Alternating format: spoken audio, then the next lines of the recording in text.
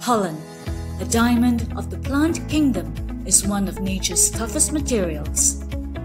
NTU scientists have found a way to turn hard pollen into soft matter. Using pollen extracted from plants, the scientists remove the sticky oil-based pollen cement layer. They then extract the pollen shells.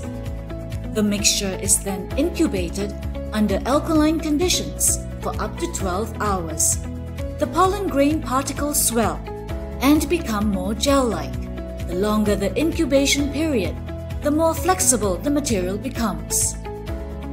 Pollen turns into soft microgel particles while keeping its high strength.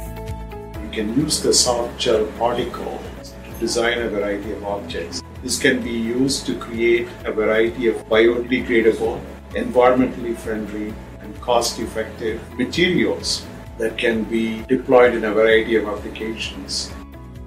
This material holds promise for a wide range of applications that are eco friendly, affordable, and scalable.